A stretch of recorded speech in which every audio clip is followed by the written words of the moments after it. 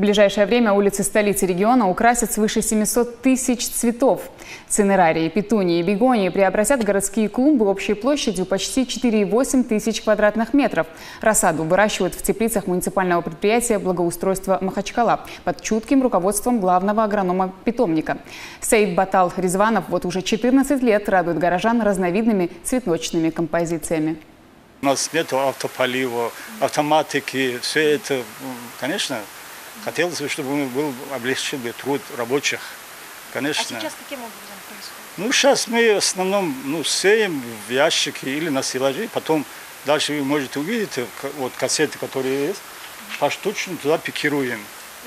И в дальнейшем за ним полив, подкормка, ну, уход, как обычно. В рамках озеленения территории ежедневно работники высаживают более трех тысяч саженцев. Представители муниципального предприятия призывают горожан, в свою очередь, бережно относиться к благоустроенным территориям.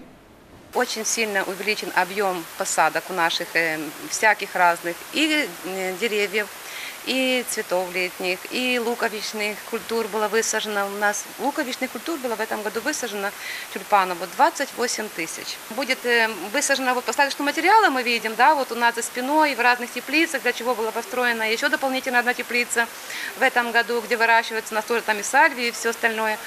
Вот где-то 700 тысяч у нас посадочного материала на данный момент есть для того, чтобы это высадить все в город. Просим вас также радоваться этой красоте, которую мы видим, беречь ее тоже.